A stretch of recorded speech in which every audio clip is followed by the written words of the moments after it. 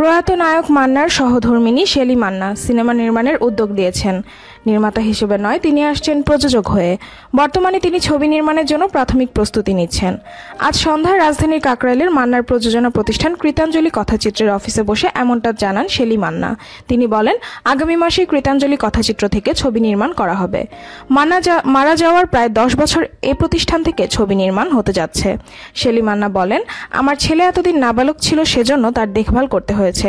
এখনও দেশের বাইরে পড়ালেখা করছে। আমি মনে করি, এখন মান্নার পরিবর্তে এই প্রযোজনা থেকে ছবি নির্মাণ করার জন্য আমাকে হাল ধরতে হবে। অন্য কেউ থাকলে আমি প্রযোজনায় আসতাম না। কি ছবি নির্মাণ করবেন, কারা অভিনয় করবেন, এ বিষয়ে এখনই কিছু বলেননি মান্না পত্নী শেলি মান্না। তিনি জানান, এর বেশি এখনই কিছু জানাতে চাই না, তাহলে সারপ্রাইজ থাকবে না। কিছুদিনের মধ্যে সবকিছু জানাব, উল্লেখ্য, মান্না মারা যাওয়ার দুই সালের সতেরোই ফেব্রুয়ারি। এর আগে তার প্রযোজনা প্রতিষ্ঠান কৃতাঞ্জলি কথাচিত্র থেকে লুটোতরাজ, আব্বারাজ ডাল বাদশাহ আমি জেল থেকে বলছি, পিতামাতার আমানত, মনের সাথে যুদ্ধ স্বামী স্ত্রী যুদ্ধ, মেশিনম্যান ছাড়াও কিছু ব্যবসা সফল ছবি নির্মিত হয়েছে। আশা করি মান্নার স্ত্রী কিছু ছবি উপহার দেবেন আমাদেরকে।